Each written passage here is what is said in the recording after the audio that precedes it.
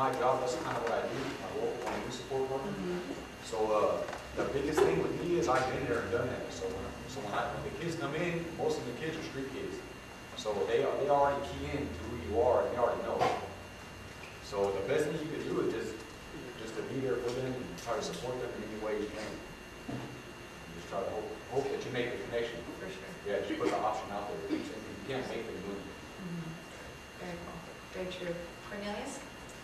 I agree with, what he said in regards to that. I think that, um, um, the way, I mean, you, can't fit in the sense of fitting in like, you know, being one of them, but I, think, um, you can play your role, uh, whatever, that role, whatever service you're providing.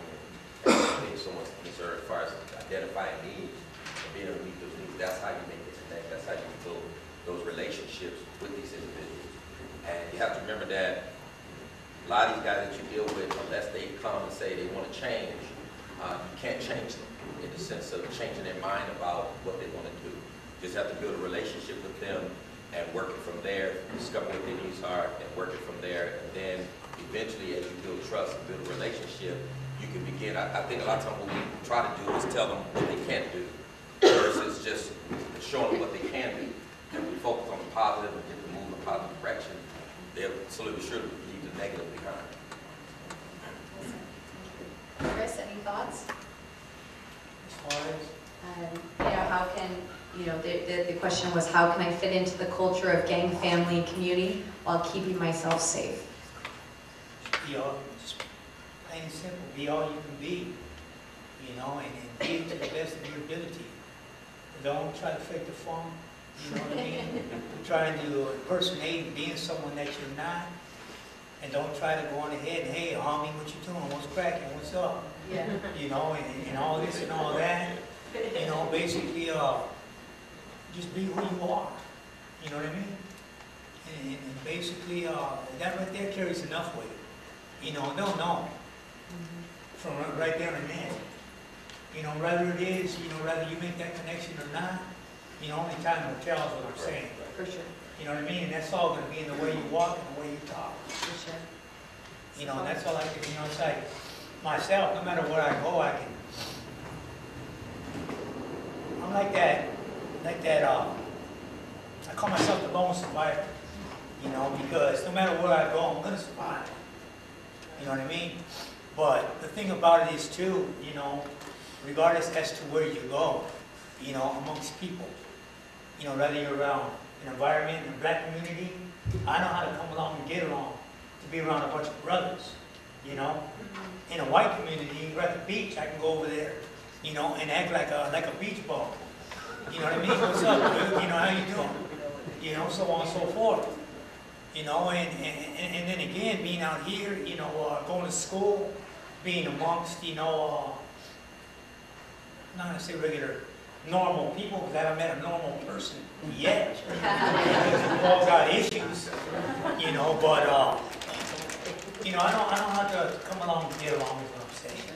You know what I mean? I know, I know how to change that, change that dial and mode uh, as far as how to speak, you know, and, uh, and one thing that I, I know that does work for sure is, uh, don't talk down to them, especially a kid. Because that's what, that's what a lot of, uh, and I will say it, okay, you know, you're talking about, you know, uh, uh, SSU or SS, uh, G, GSU, gang suppression, they have the tendency of doing it a lot, you know. They want to talk down at you and judge you and, and this and that and everything else.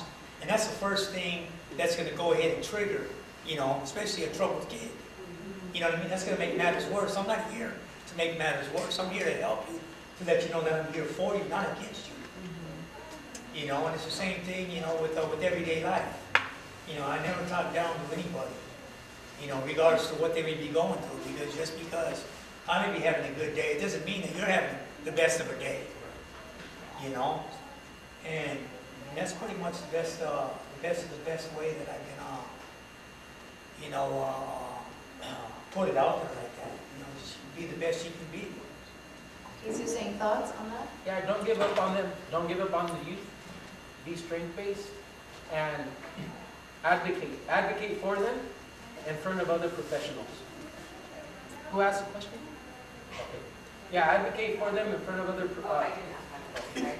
That was one of the. That was one of the ones Oh, that on the somebody question emailed me asking that stuff. because once, once they know you believe in them, and that, not just on a personal level, on a private level, you can tell them, I believe in you, you got hope, you can make some changes, but even publicly, you're, you, you, you know, you risk saying something on their behalf, advocating for them and saying they can make it, then that really begins to connect with them because they're saying, okay, here's this person, they've told me, but they're not just telling me, they're saying it to my probation officer or to someone else. And even though you feel like you might lose a little bit of credibility because of their choices and decisions, but you're connecting with them. You're connecting with them. And sometimes you're gonna have to stick your neck out there to do that. So what are, what makes some individuals more susceptible to joining a gang? What would you say? Being uh, parentless, Okay. I say being parentless and just being the word you live. There's a lot of stuff, a lot of times, yeah, that, man, endless, that's endless, right? Answer that. Yeah, how much time do you guys have? Place to live, yeah, said parentless and things like that. Cornelius, any thoughts? Um, I, I, I would, I would say that, um, uh, who they're connected with, you know, I mean, like you, you saying, you know, uh, uh, there's a lot of, lot of, uh, variables involved, but I think one of the most important things to look at is who they're, who they're hanging around, who, who their friends, who, whether it's their cousin or brother or, or next door neighbors, whoever, whoever it is. I think that, you know, whoever they connected with, that could, you know, if they're not healthy enough to make sound decisions, they can be led into the game. Chris, any thoughts?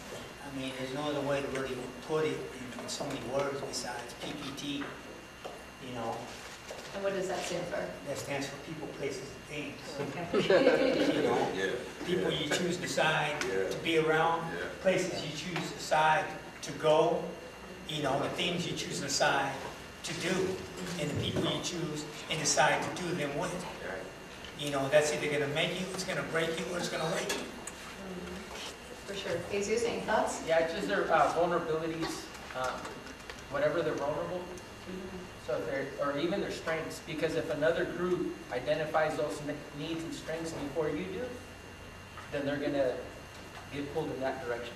And so it's kind of like you're in the, you're the, you're the, uh, the alternative to, and on the time frame too, to discover the, dis- discover that before the other group does. Because whoever discovers that first is gonna have it.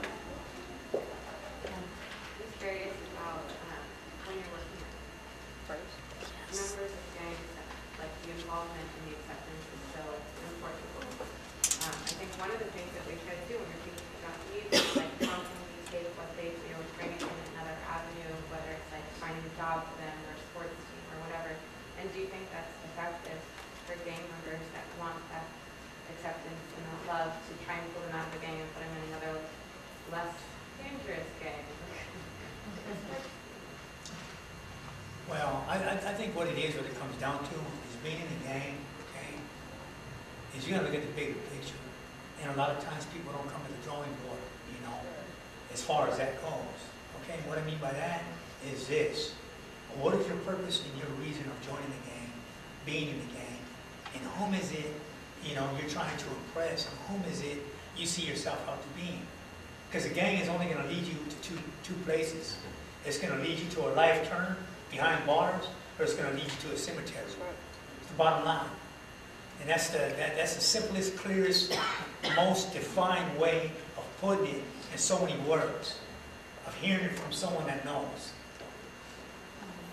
You know what I mean? Once you join a gang, it's like joining Death really having them look at like, okay, even though it's like immediate gratification and them seeing just what's in front of them, really looking at and educating around the bigger picture of stuff and stuff and things like that. Yeah, because a lot, a lot of times, they, a lot, a lot of times, they'll never come to terms to understanding, okay, until it's too late, all right? It's too late and you sell yourself short. Rather at the age of thirteen, commit a crime that's costing you pretty much the rest of your life, okay? Or rather at the age of nineteen or twenty, being at the wrong place at the wrong time, costing you the rest of your life. Now what are you left with? Man, I didn't know this was gonna happen.